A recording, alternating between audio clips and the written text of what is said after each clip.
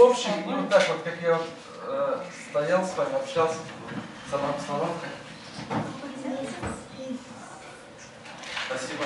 Мы сейчас на всех предвкушении, да, экскурсии, которую с нами проведет по своим картинам э, Айрат Марселевич. А давайте